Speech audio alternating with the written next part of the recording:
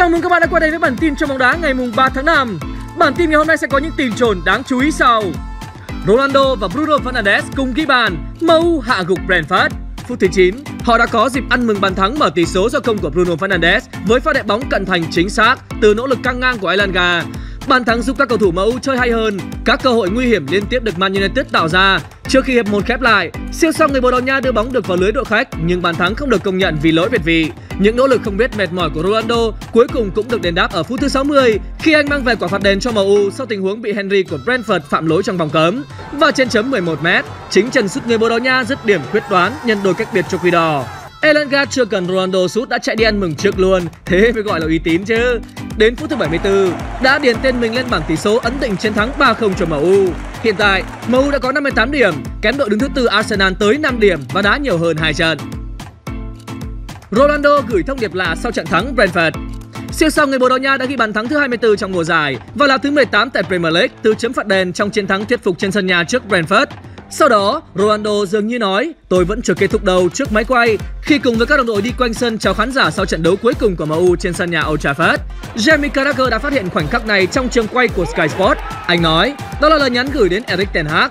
Ronaldo còn một mùa giải nữa trong hợp đồng 2 năm ở Old Trafford, nhưng vẫn còn nhiều dấu hỏi về việc liệu cầu thủ 37 tuổi có nằm trong kế hoạch của huấn luyện viên mới eric ten Hag khi ông chuyển đến từ Ajax hay không. Tiền đạo này cũng nhận được sự hậu thuẫn hoàn toàn từ huấn luyện viên tạm quyền Ralf Rangnick để tiếp tục thi đấu, bất chấp việc ông tin rằng Ten Hag sẽ cần phải mang về hai tiền đạo mới trong mùa giải tới. Richarlison nghịch dại đối mặt với án phạt nghiêm trọng. Ở trận đấu vòng 35 ngoại hạng Anh vào tối qua mùng 1 tháng 5, Everton gây bất ngờ khi giành chiến thắng 1-0 trước Chelsea.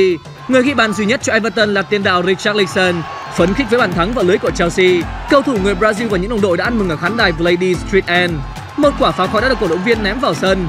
Thấy vậy, Richard Nixon nhặt quả pháo khói này và ném trở lại phía các khán giả thay vì báo cáo tình hình cho trọng tài. Hành động của Richard Nixon sẽ bị Liên đoàn bóng đá Anh điều tra và có nguy cơ bị phạt nặng.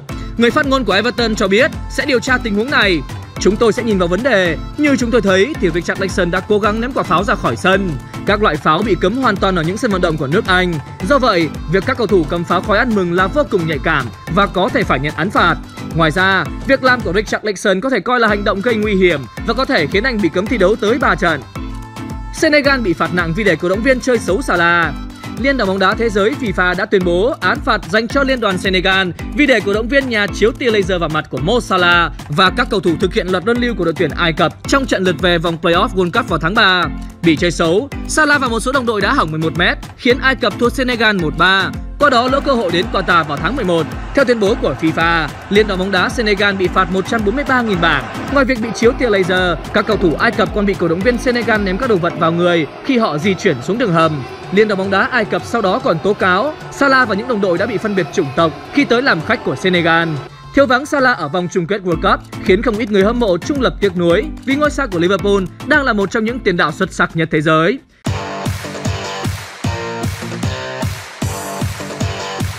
Ronaldo xuất sắc nhất Man United tháng 4 năm 2022. Vượt qua David De Gea, Ronaldo có lần thứ hai liên tiếp và lần thứ tư trong mùa giải này giành danh hiệu cầu thủ xuất sắc nhất tháng của MU.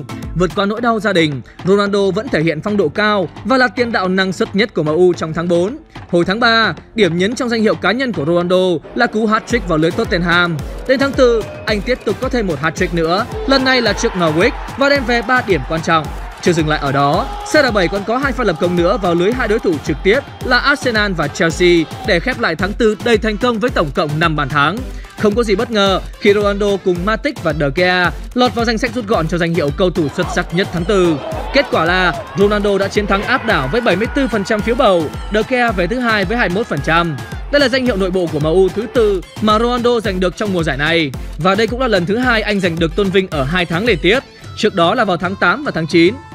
Bản tin ngày hôm nay đến đây cũng xin phép là kết thúc. Cảm ơn các bạn đã quan tâm và theo dõi. Hãy nhớ like, nhớ share, đăng ký kênh và dùng nút chuông để đón xem những bản tin hấp dẫn tiếp theo. Xin cảm ơn.